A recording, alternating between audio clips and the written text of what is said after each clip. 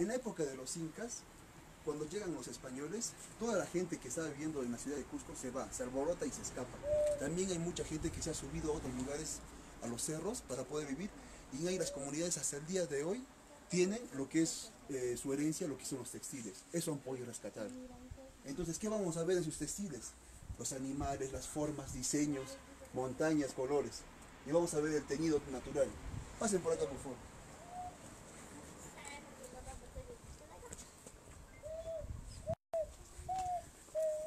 Mira, mamá. Ay, dime que no les vamos a dar de comer. ¡Qué lindo! Vamos a darle de comer a las alpacas suri. de, mayor unidad en lo que es. Por favor, esa es la alpaca, esa es la alpaca azul. No escupen solamente, si se escupen es entregue, no, no atacan.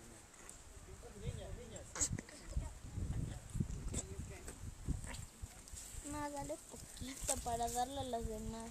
Ajá. ¡Oh, qué hermosa! ¿A qué se le dice baby alpaca? Baby alpaca es el primer corte del animalito en su vida. Más, dale por poquito, se vaya a parar. ¡Uy, Dios mío! ¿Cuántos kilos puede pesar? Cuidado? Siete, tienen fuerza.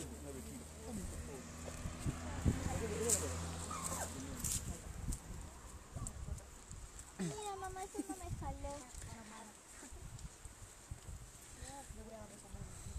No, no, no una nomás pues.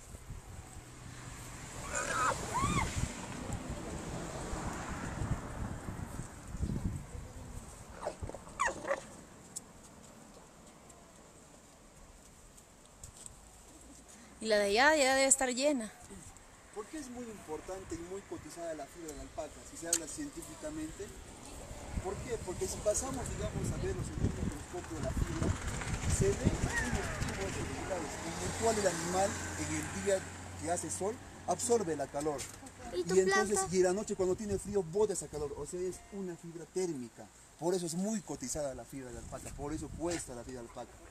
Por, por eso es muy valorada en todo el mundo. Pasen, por favor. Vamos a seguir. Ya, ya, ya comieron ya. La marrón no me jala a mí. ¿Y dónde está su comidita, la tuya? Ya le di. Ya le di, ya se me acabó la comida.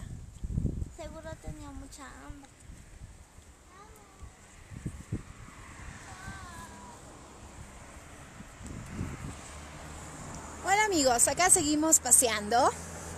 Hoy soy Katy Jara Viajera, una Katy Katy Viajera. Y estamos conociendo un poco más de la hermosa ciudad imperial del Cusco. ¡Ay, qué hermoso! Miren. Este es el otro tipo de alpaca, la alpaca huacaya.